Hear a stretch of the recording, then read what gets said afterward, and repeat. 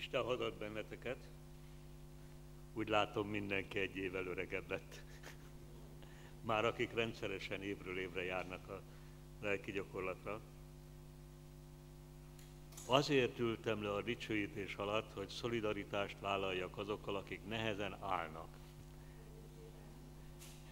Csak gondoltam, hogy ha nálam idősebb, vagy nehezebben mozgó testvérek vannak, ne kelljen kényszerből végig állniuk a dicsőítést, ezért leültem.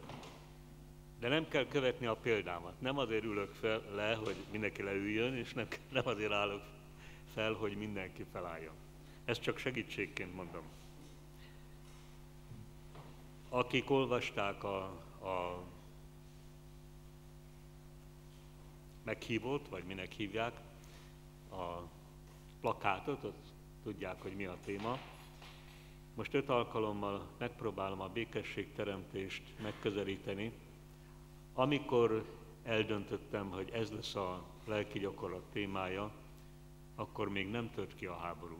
Én decemberben egy másik lelki gyakorlatra készültem, már mint más témára készültem, aztán hogyan-hogyan nem, egyszer csak úgy döntöttem, hogy mégse azt fogom elmondani, hanem erről fogok beszélni. Ennek az egyik oka az volt, hogy közeledtek a választások, és egyre rosszabb volt a helyzet. Gondoltam, hogy békességteremtésről kellene beszélni, aztán még rosszabb lett a helyzet, mert kitört a háború. Tegnap fiatalokkal voltam fórumon az egyik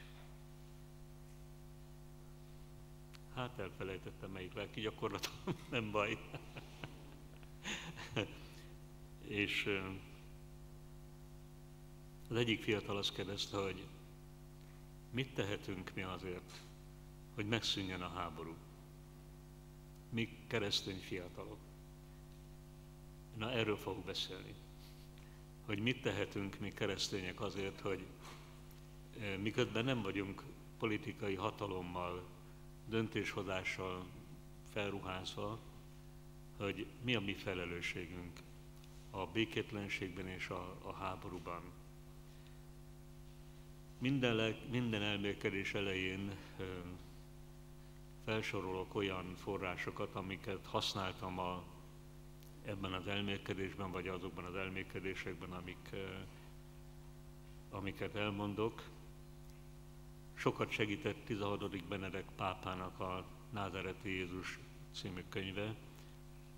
Nem könnyű olvasmány, három kötet, ha valakit érdekel, vegye kezébe. Fantasztikusan jó biblikus teológiai mű. Aztán van két könyv, ami már megjelent az előző évek során a lelki gyakorlatokból, ebben a elmélkedésben erről is, ezekből is merítettem, és Kantalamessa atyának a Mária az Egyház Tükre című könyvét vettem. Krisztus békéje, ennek az elmélkedésnek a témája. Nem úgy adom, békességet hagyok rátok, mondja a búcsú beszédében Jézus, az én békémet adom nektek. Nem úgy adom nektek, ahogy a világ adja. Ne nyugtalankodjék a szívetek, és ne csüggedjen. Nézzük először a világnak a békéjét. Mert Jézus azt mondja, hogy nem úgy adom nektek a békét, ahogyan a világ adja. A világban a béke többféle formában, a békességteremtés többféle formában jelenik meg. A fegyverszünet, most is ezért küzdenek a politikusok, hogy, hogy hagyják abba egymás gyilkolását, legyen fegyverszünet. A tapasztalat az, hogy ezeket, ezeket a fegyverszüneteket mindig arra használjuk, nem csak a háborúban, hanem máskor is, hogy újabb fegyverkezésbe kezdjünk. Nekem azt tanították a katonaságnál, hogy a háborúra mindig a békébe kell készülni ez a fegyverszünet, ez a világ békéje, ez nem Jézus békéje. Aztán a kompromisszumok. álbékesség, nagyon törékeny az a fajta béka, ami kompromisszumok árán jön létre. Ezek értékek, tehát a fegyverszünet is érték, a kompromisszumok árán létrejövő béke is érték, csak nem Krisztus békéje. Ez a világ békéje. Aztán vannak a világban békemozgalmak, amelyeknél az a nehézségem, hogy rendkívül erőszakosan képviselik a saját ideológiájukat, amik, amivel békét akarnak teremteni. Aztán vannak, akik a békét meditációs gyakorlatokon keresztül próbálják megszerezni.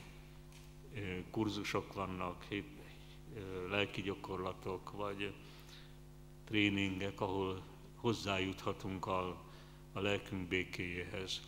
És van a rómaiak békéje, ami azt jelentette, hogy aki a római birodalom állampolgára volt, annak béke volt, de jaj a legyőzötteknek, azoknak viszont nem volt béke. Ez a Pax Romana nem csak a római birodalmat jellemezte, hanem korunkat is. Krisztus békéje, amelyik nem olyan, mint a világ békéje. Jézus békéje az atyával való betöltöttségből fakad. Az egész lényét, a gondolatait, a vágyait, a személyiségét betöltötte az atya és az atya iránti szeretet. Abból az egységből fakad az ő békéje, amelyet ő megélt a mennyei atyával. És ki is jelenti, hogy én és az atya egy vagyunk. Krisztus békéje azért lehet a miénk, mert ő nem csak az atyával volt nagyon mély szeretetegységben, hanem megvalósította azt, amit egyetlen egy vallás sem tudott megvalósítani. A vallások ugyanis, ha általánosságban össze akarom foglalni, akkor azt jelentik, azt, a, azt az utat keresik, hogy hogy lehet inét eljutni a transzcendensig, a természet fölöttig, hogyan lehet eljutni ahhoz, akit Istennek hívunk. Egyedül a kereszténység az, amelyik azt mondja, hogy nem nekünk kell eljutni Istenhez, Isten jött el hozzánk. És nem csak eljött, megtestesült, hanem itt maradt közöttünk, sőt, nem csak itt maradt közöttünk, hanem megtörtént az, ami elképzelhetetlen volt azelőtt az ember számára, hogy az Isten szentségileg, ontológiailag bennünk él. Ti bennem, én bennetek, ahogyan az Atya, ő benne, és ő az Atyában.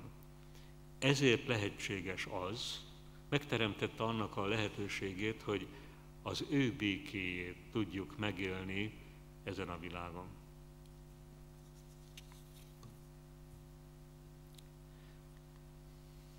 A mi békességünk tehát Jézus Krisztus és az ő békéje. Az ő békéje pedig az Atya. Krisztus békéje az engedelmességében válik láthatóvá. Hogy mit jelent az, hogy ő és az Atya teljesen egyek, az az engedelmességben lesz nyilvánvaló, amely folyamatosan végig kíséri az ő egész életét. Engedelmes volt a halálig.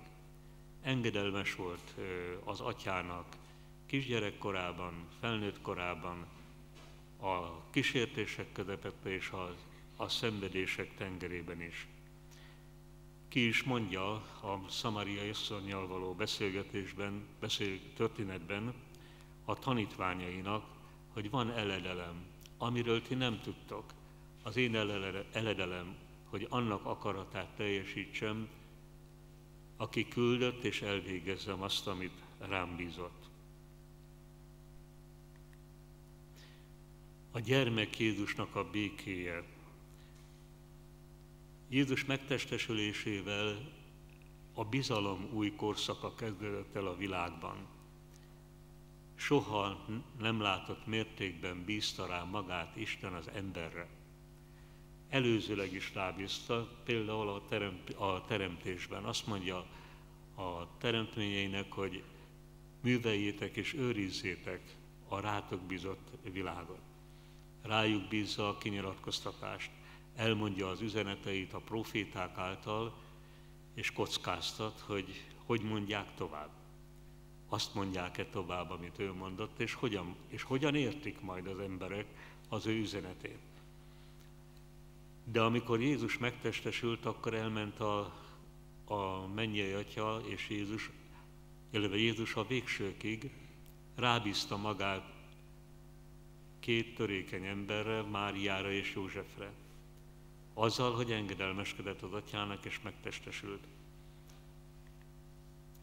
Az imádkozó Jézusnak a békéje szintén ebben a, az atyával való nagyon mély egységben válik láthatóvá. Órákat töltött édeskettesben az atyával. Nem csak a zsoltárokat imádkozta, hanem imában volt éjszakákon át. A pusztában megkísértett Jézusnak a békéje, amikor a sátán megkísérti, akkor is a válasza mindig az atyával való egység. Írva van, és elmondja az atya szavait a kísértőnek. A Getszemániban megkísértett Jézusnak a békéje. Jézus háromszor könyörög az atyának, hogy ha lehet, akkor ne kelljen kiinni a szenvedés kejhét. De mind a háromszor hozzáteszi az engedelmességet, de ne az legyen, amit én akarok, hanem amit te. És amikor harmadszor is elmondja ezt a, a vérelverejtékezésekor, akkor lesz, akkor indul el békével a kínzások helyére, a, és a Golgotára és a halálba. De ehhez kellett ez az engedelmesség. És a kereszten megkísértett Jézusnak a békéje, ahogyan a pusztában kísérti a sátán azzal, hogy ha Isten fia vagy, akkor mond ezeknek a köveknek, hogy váljanak kenyérű. Ha Isten fia vagy, akkor vesd le innét a templom párkányáról magadat, meg fognak tartani az angyalok. És ugyanez ismétlődik a kereszten. Ha Isten fia vagy, akkor szállj le a keresztről, és hiszünk neked. Mutasd meg, de Jézus nem megmutatni akarja, hogy Isten fia, hanem engedelmeskedni akar a végsőkig az atyával, atyának, akivel a legbensőbb, legmélyebb egységben van. Ha párhuzamba állítom a, a kisgyermeknek a békéjét, amikor a szülei egységben vannak, szeretet egységben, akkor a kisgyermek békében van fogja a világát, a szeretet erőterét. Amikor egy szerelmes biztonságba érzi a, a szerelmével magát, béke van benne. Amikor egy házaspár rámer hagyatkozni teljesen a másikra, bízik benne, és mély egység van köztük, akkor nem kell semmiféle hangulatjavító szer, nem kell nyugtató, mert béke van. Akkor nincs béke, amikor ez megbomlik.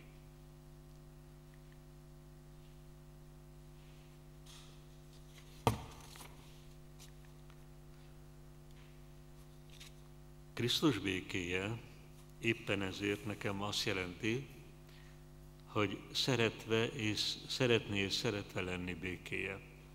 Ő folyamatosan megélte az Atya szeretetét, és folyamatosan továbbadta másoknak ezt a szeretetet.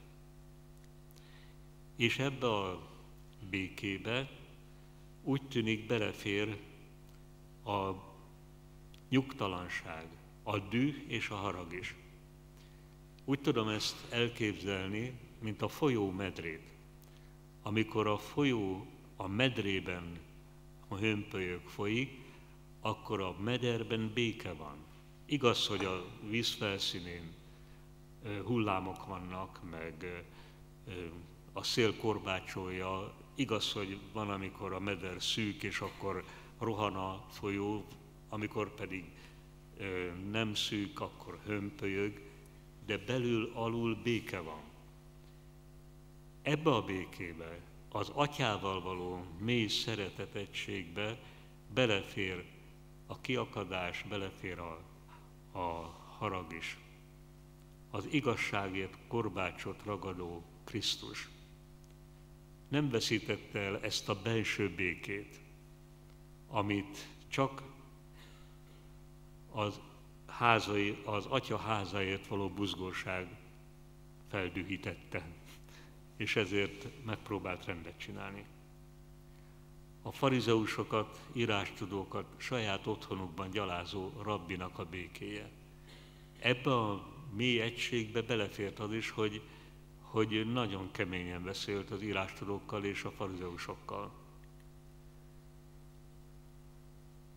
A tanítványok értetlenségén botránkozó mesternek a békéje, amikor kicsinyhitőek, amikor versengenek egymással.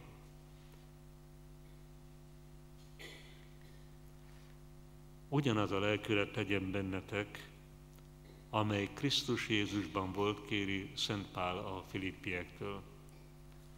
Vagyis a atyával való egység nem zárja ki, vagy a Krisztus békéje nem zárja ki azt, hogy kiakadjunk, hogy megharagudjunk, csak az zárja ki, hogy haragot tartsunk, és gyűlölködjünk egymásra, és ítélkezzünk.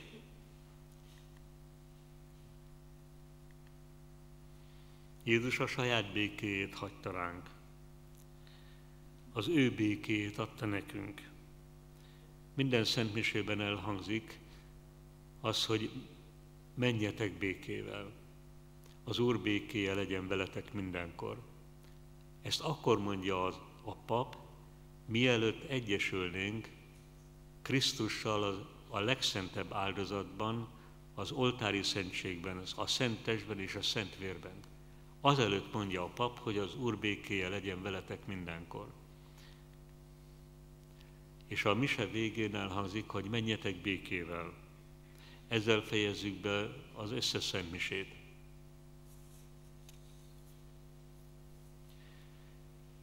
Az ő békéje az a szeretet áldozatból fakad. Amikor az Eukarisztiában Jézus odaadja magát nekünk, akkor a legnagyobb dolgot teszi, szeretetből elajándékozza magát az, él, az ő életét nekünk. Ez az ő békéje, a szeretet áldozat békéje. Azáltal teremt békességet, hogy föláldozza szeretetből magát értünk, azáltal teremt békességet a szívünkbe, hogy oda ajándékozza magát nekünk. És hogyha Krisztus békét szeretnénk megélni, akkor hasonlóképpen kell cselekednünk. Isten országának a békéje. Isten országa a rómaiakhoz írt levél szerint nem eszeb iszom, hanem igazságosság, béke és öröm a Szentlélekben. Isten országa már elközelgett, mondja Jézus, már eljött, és itt van közöttünk. Amikor a farizeusok megkérdezték tőle, hogy mikor jön el az Isten országa, azt felelte, Isten országa nem jön el szembetűnő módon, nem lehet azt mondani, nézzétek, itt van vagy amat, Isten országa köztetek van. Hűha! Ilyenkor mi van? Mindjárt megtalálom. Hát megvan. Rajt felejtettem az ujjamat a gombon, és rendkívül érzékeny. Maga Jézus az ország. Tehát Isten országa nem földrajzi terület. Nem lehet azt mondani, hogy ott van, itt van. Isten ország egy szemében. Jézus Krisztusban jött el benne jelent meg az a szeretet, amit az Atya akart nekünk ajándékozni. Ezért Isten országa, tehát nem földrajzi terület, hanem egy létmód, a Krisztussal való szeretet kapcsolat létmódja és állapota. Egyszerre evilági valóság, és egyszerre túlvilági valóság. Mert itt van a teremtett világban, de közben az Isten országa és a mennyek országa, tehát a halálunk után beteljesed Isten országa, ez ugyanaz az evangéliumokban. Isten gyengét szeretet uralma, görögül basileia teum. A világba jött, a világban volt, általa lett a világ, és mégsem ismerte fel a világ. A tulajdonába jött, de övéi nem fogadták be.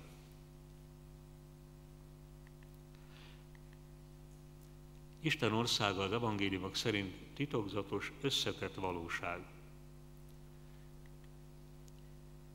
Jelentéktelennek látszó kicsiny mag, mint a mustármag, mint a kovász, mint a vetés, amelyre különleges sors, különféle sors vár. Felcsipegetik a madarak, kiszárad a tövisek között, vagy bőséges gyümölcsöt érlel, miközben növekszik. Isten országa kincs, értékes gyöngy. Jézus tanítása szerint, amit ha valaki megtalál, akkor eladja érte mindenét.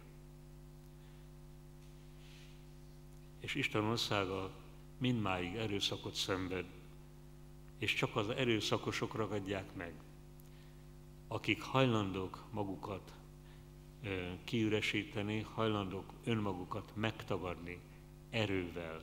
Azok ezért a kincsért mindent odaadni, azok tudják, hogy mit jelent ez, hogy Isten ország erőszakot szenved. Van egy szokatlan példabeszéd, már mindenki ismeri, a mennyek országa hasonlít ahhoz az emberhez, aki jó magot vetett a földjébe, amikor szolgái aludtak, jött az ellensége, és konkolyt szólt a búza közé. Aztán elment. A vetés szárva szökött és kalásztányt, de a konkoly is felütötte a fejét. A szolgák elmentek a gazdához, és megkérdezték, Uram, ugye jó magot vetettél földedbe? Honnét került bele a konkoly? Az így válaszolt. Ellenséges ember műve az, a szolgák tovább kérdezték, akarod, hogy elmenjünk és kigyomláljuk? Nem, válaszolta. Nehogy a konkoly gyomlálva vele együtt a búzát is kitépjétek. Hagyjátok, hadd nőjön mind a kettő az aratásig. Aratáskor majd szólok az aratóknak, előbb a konkolyt szedjétek össze, kössétek kévébe,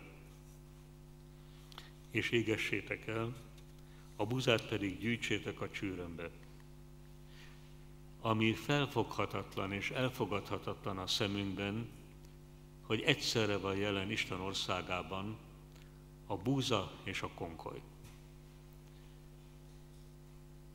Mi úgy szeretnénk, hogyha Isten országában nem lenne az ellenséges ember műve, hanem csak Isten műve. De a példabeszéd Jézus tanítása szerint nem erről szól. Mi olyan egyházról álmodunk, amelyik vegytiszta, amelyik nem tűri meg a szemetet, a bűnöst. És totálisan zavarba jövünk, ha kiderül erről az egyházról, hogy benne van a konkoly, és hogy Isten nem írtotta ki belőle a konkolyt. Mi azt szeretnénk folyamatosan, amire nem kaptunk felhatalmazást, az angyalok kaptak erre felhatalmazást, hogy gyomláljunk. Nagyon nehéz elfogadni, hogy Jézus nem azért jött, hogy rendet csináljon. Sem a zsidók között, sem a rómaiak között, sem az egyházban, hanem valami mást kér tőlünk. Mégpedig hitet kér a húsvét titkában. Jézus bízik abban, hogy meg tud változni minden.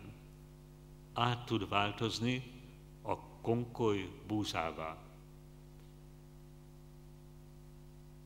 a vámos megtérése, aki találkozik Jézussal és mindent ott hagy. A bűnösöknek a megtérése ugyanerről szól.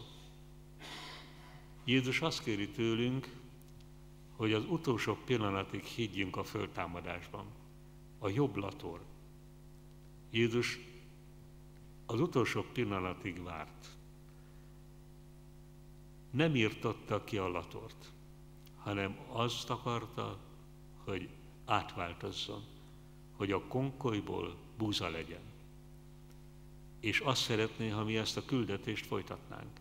Ha nem kiirtanánk az egyházból, vagy magunk közül az, azokat, akik szerintünk nem odavalók, hanem úgy élnénk, olyan szinten élnék meg a, a Istennel való egységünket, engedelmességünket, hogy átváltozzanak körülöttünk a konkolyok, akik szerintünk konkolyok.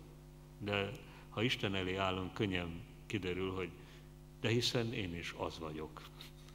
Én sem vagyok tiszta búza. Én is, bennem is ott van a konkoly. Elfogadhatatlannak tűnik, és felfoghatatlannak, hogy miért. Azért, mert ő hitet kér, a feltámadásba vetett hitet. És az utolsó pillanatig kéri, hogy higgyünk abban, hogy minden megváltozhat. Az utolsó pillanatig várja, hogy higgyünk abba, hogy a gonosz nem győzte le a világot, hanem Isten győzte le a világot, a feltámadás, a gonoszt és a világot. A hit próbáját kéri minden olyan helyzet, amikor fölfedezzük a konkolyt. Magunkban vagy másokban. Vizsgáljátok meg magatokat, írja Szent Pál a korintusiaknak, hogy hitben éltek el. Tegyétek próbára magatokat. Felismeritek-e, hogy bennetek él Krisztus? Ha nem, akkor nem álltátok ki a próbát. Ez a garanciája annak, hogy a konkoly bennünk búzába változik hogy bennünk él a Krisztus, a feltámadott. És a feltámadott bennünk való léte tud átváltoztatni, átformálni bennünket.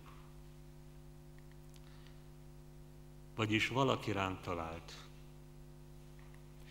Valakinek a kedvesévé lettünk. Valaki birtokba vett bennünket.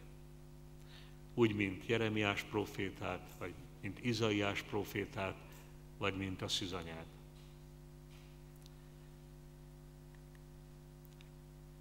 Az új tapasztalat számunkra az, hogy a konkoly és a búza közötti szakadékot Isten az, aki áthidalja. És ő az, aki meg tudja változtatni.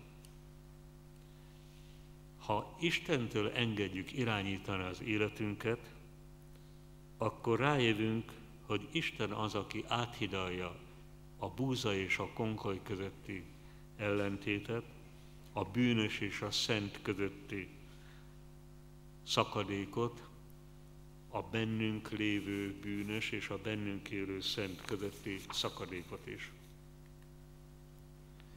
Az Isten országa kapcsolat és állapot. Jézus Krisztus felszabadított bennünket arra, hogy új szeretet kapcsolatba kerüljünk Istennel, és új szeretet kapcsolatba kerüljünk embertársainkkal. Két ember fölment imádkozni a templomba, az egyik farizeus volt, a másik pedig vámos. A farizeus azt hiszi, Isten dicséri, miközben önmagát magasztalja Isten előtt.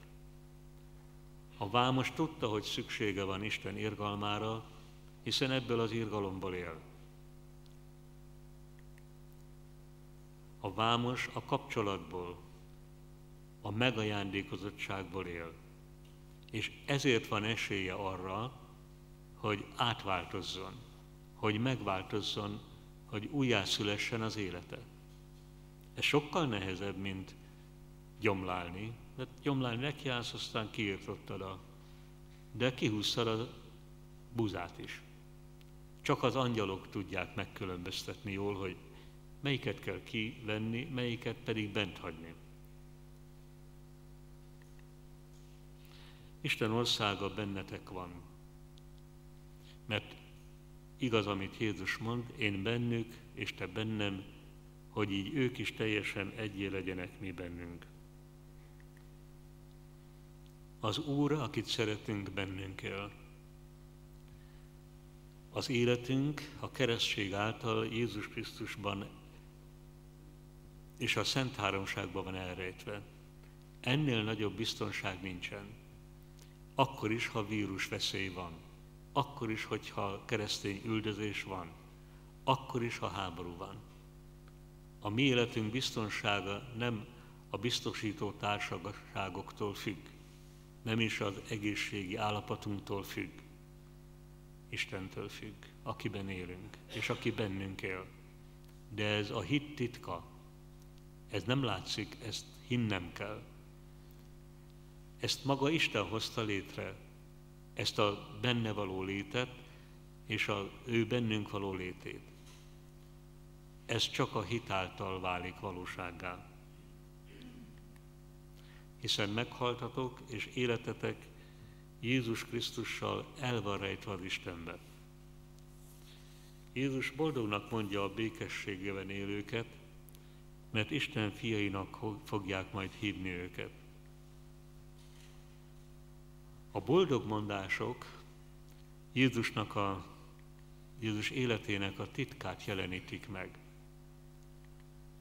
Ő a szegény,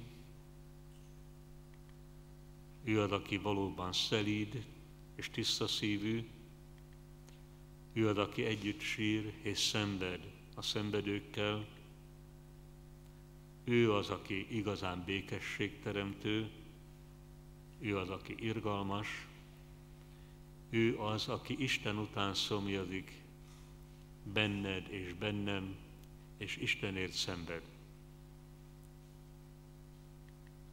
A boldogságok a tanítványság titkát jelenítik meg. Mit jelent tanítványnak lenni?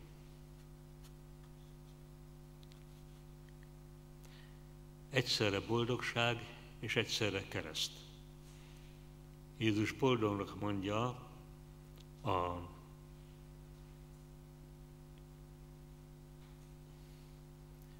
követőit, egyszerre jelent boldogságot és egyszerre jelent keresztet.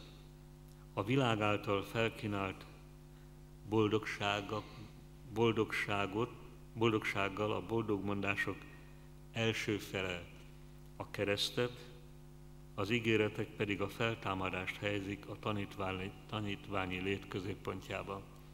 A világ szemében nem boldog az, aki szegény, aki sír, aki szelíd, aki békességteremtő, akit üldöznek, de Isten országában ez, ezt jelenti a boldogság. Nem azért, mert jó szegénynek lenni, hanem mert mi egy újfajta gazdagságot éltünk meg. Miénk az Istenben való lét. Ez a legnagyobb kincs.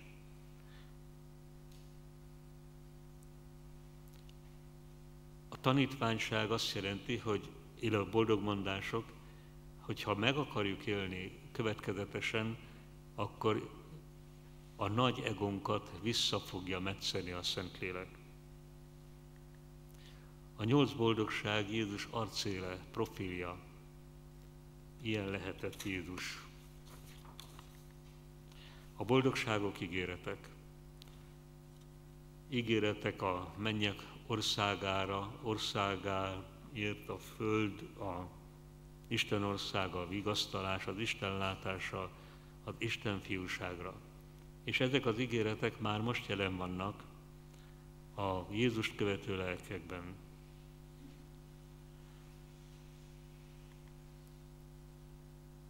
Ezek a boldog mondások segítenek a lelkek megkülönböztetésében, és bemutatják Isten értékrendjét. A hívő ember valós helyzetét tárják fel, ha tényleg követi Krisztust. Jézus életének és a tanítványok életének a paradoxonjai. a boldogmondások. Hogyan valósult meg mindez Máriában? Mária volt Jézus első tanítványa.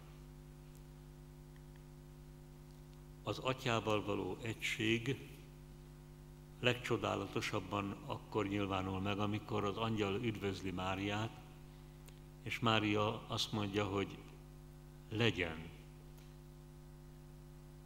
nekem a te szabad szerint. De az, igaz, az eredetiben ezt mondja Mária, hogy vágyva vágyom arra, hogy az legyen, amit mondtál.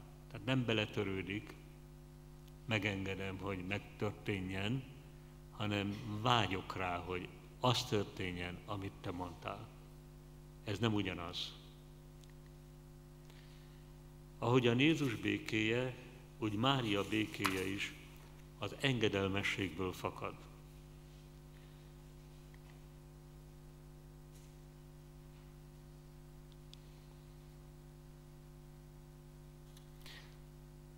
Amikor a kánai mennyegzőn szól Jézusnak, hogy fogytán van a bor, akkor Jézus még vár egy kicsit, Mária pedig azt mondja a szolgáknak, hogy bármit mond nektek, azt tegyétek meg. Ő engedelmeskedik az atyának, engedelmeskedik a mellőzöttségben is. Jézus, Mária nem lehetett ott azok között, az asszonyok között, akik Jézusról gondoskodtak. Legalábbis a Szentírás nem sorolja fel Máriát azok között, az asszonyok között. Pedig ő volt az édesanyja. Amikor szólnak Jézusnak, tele a szoba, ahol ö, tanít, hogy anyád és testvéreit kínálnak és beszélni akarnak veled, akkor, akkor Jézus nem azt mondja, hogy jaj, gyorsan hívjátok be, mert megérkezett az édesanyám, hanem megkérdezi, hogy ki az én anyám és kik az én testvéreim.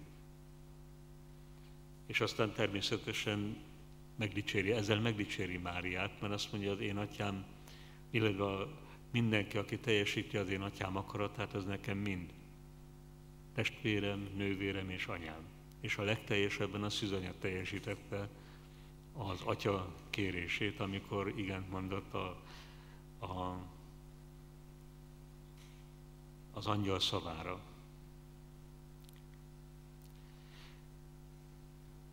Engedelmeskedik akkor is, amikor a fiát megszállottnak és bolondnak tartják.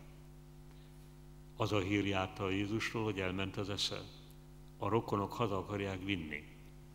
És a legsúlyosabb bélyeget nyomják rá a farizeusok, ördögtől megszállott, ami a legkegyetlenebb nem csak egyszerűen bolond, hanem eszemen megszállott, az ellenség hatalmába van. És a szüzanya ezt engedelmességből elfogadta, nem lázadt föl. És a békéjét megőrizte a kereszt alatt is.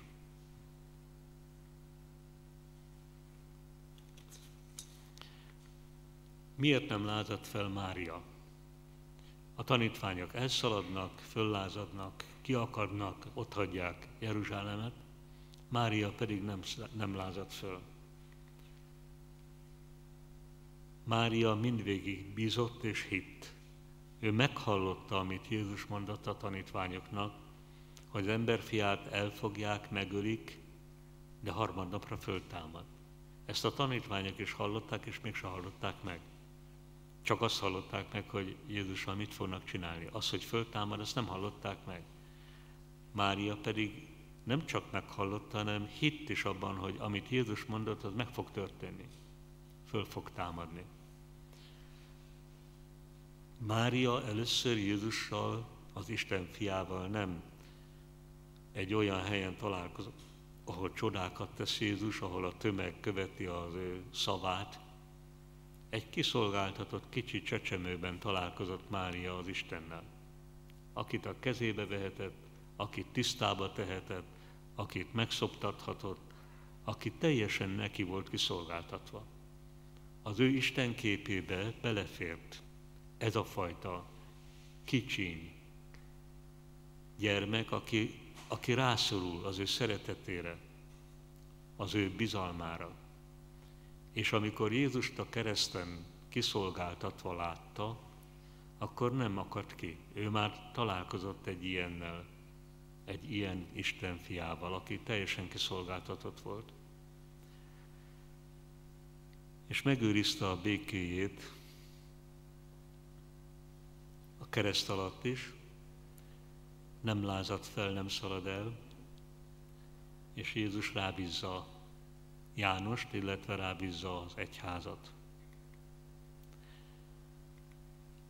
Máriát háromszor is betöltötte a Szentlélek. A szeplőtelen fogantatásakor, amikor Isten megóvta minden bűntől, aztán amikor megfogant Jézus a méhében, a Szentlélek szárád és a magasságbeli ereje megárnyékoz, és amikor ott volt a tanítványokkal együtt pünköstkor, amikor zúgás támadt, és a Szentlélek lángnyelvek formájában megjelent. A mennyekbe felvett Mária folyamatosan békességet teremt.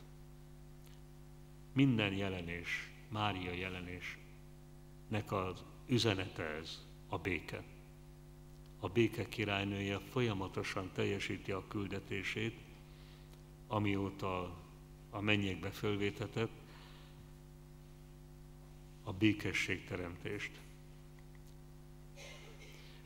Az első, amit húsvéteste az apostolainak arra feltámadott, az ő békéje. Így köszönti őket, békesség nektek. Azt kéri Szent Pál a tesszaloniki hívektől, hogy éljetek békességbe, örüljetek, legyetek tökéletesek, buzdítsátok egymást, legyetek egyet, egyetértők, éljetek békességben, és a szeretet és békesség Istene veletek lesz. Amit tanultatok, és példámon láttatok, elfogadtatok, amit hallottatok, azt tegyétek, írja a Szent a Filippieknek, és veletek lesz a békesség Istene. Néhány kérdés az elhangzottaknak az átelmélkedéséhez. Miben látod a békétlenség forrását? Körülötted és benned, mert benned is van. Volt-e már tapasztalatod Krisztus békéjéről? Ha igen, akkor tegyél róla tanúságot, ha a kis csoportban beszélgettek erről. Volt-e már, voltál-e már békességteremtő a kapcsolataidban, családodban, máshol?